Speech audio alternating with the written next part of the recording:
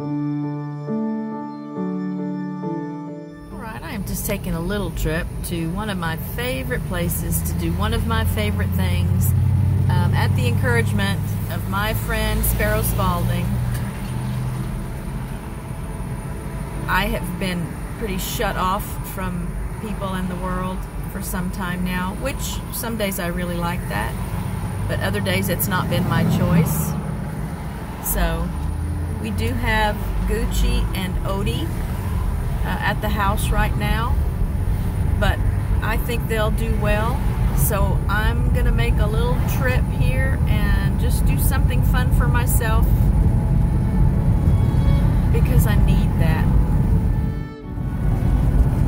It's a very humid 88 degrees today and go figure the air conditioner in the car is not working.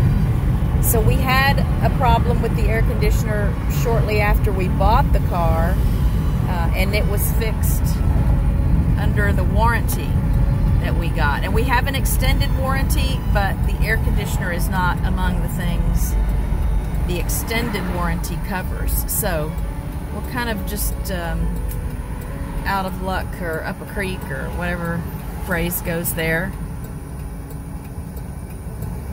Because we can't afford to get the air conditioner fixed right now. So that could be another reason I'm not getting out much during the day. Okay, here I am. And I thought of another place I'm going to stop before I head home. Uh, another place that I really enjoy. But here's my first stop for the day. Okay, I found something I think I'll like. I really enjoy Robert B. Parker's stuff, especially these Jesse Stone stories. I like the movies too. Um, so I've got myself a new book to add to my collection uh, and something to read at night. And now I'm headed to my second stop.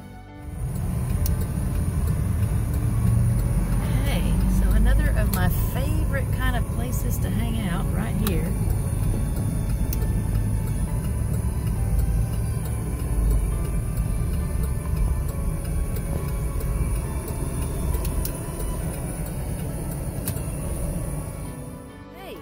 So uh, here's my haul from the farmer's market. I got a couple of strawberry plants because my little seeds just are not really taking off. I got some tamales. Oh my gosh, I love tamales. Uh, I got some stuff to make uh, French bread pizza. So just some pepperoni and some Parmesan cheese. Their blueberries were on sale, so I got some blueberries.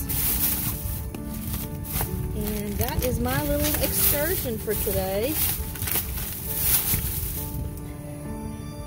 And now I'm headed back home to check on everybody.